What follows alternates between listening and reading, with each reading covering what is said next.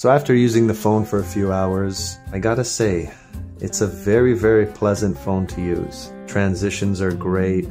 The way that the phone allows you to just transition from app to app.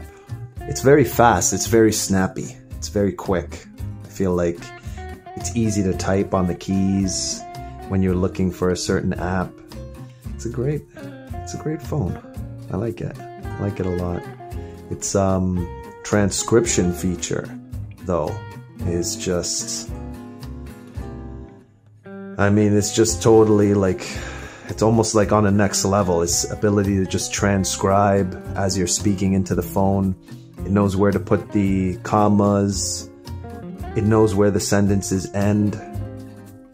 It knows when to begin and start a new sentence.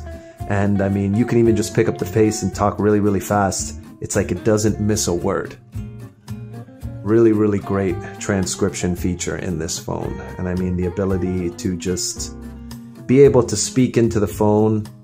Here you can see you can download multiple language packs available for the transcription feature. I mean, there's an update here. I'm not going to do it right now.